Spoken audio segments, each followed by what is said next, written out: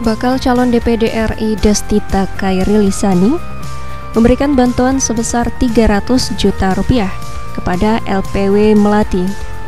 Dana ini akan digunakan untuk pengembangan dan peningkatan usaha bagi para anggota LPW Melati.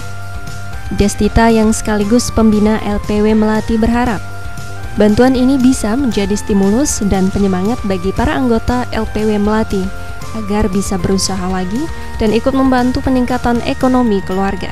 Kami dengan adanya bantuan ini bisa menjadi stimulus, bisa menjadi penyemangat lagi untuk teman-teman di LPW Melati yang sudah luar biasa dari sebelumnya 2017 ya, dari 2017 hingga saat ini sudah memproduksi eh, produk-produk yang sangat baik dan sudah memberikan manfaat lah khususnya buat keluarga.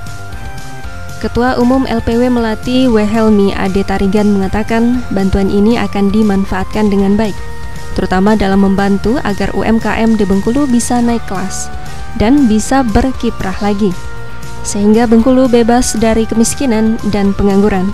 Bantuan program modal usaha agar Eh, kelompok-kelompok usaha UMKM ini bisa naik kelas dan mereka sudah mulai bisa berkiprah lagi bagaimana program kami memberantas kemiskinan, kebodohan dan pengangguran.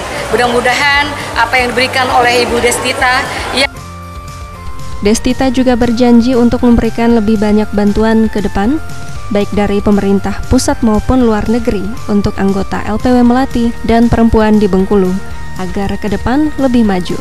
Allah apabila nanti ada kesempatan, ada amanah yang dapat diberikan dan kami jalankan bisa mendatangkan bantuan-bantuan yang lebih banyak lagi untuk teman-teman UMKM baik dari pusat maupun dari luar negeri. Insya Allah mudah-mudahan dengan background yang saya miliki insya Allah saya akan berusaha memberikan yang terbaik dari diri saya. Itu yang dapat saya jadikan untuk memberikan manfaat khususnya untuk teman-teman ayu-ayu bunda-bunda di Siska Harliana, RBTV melaporkan.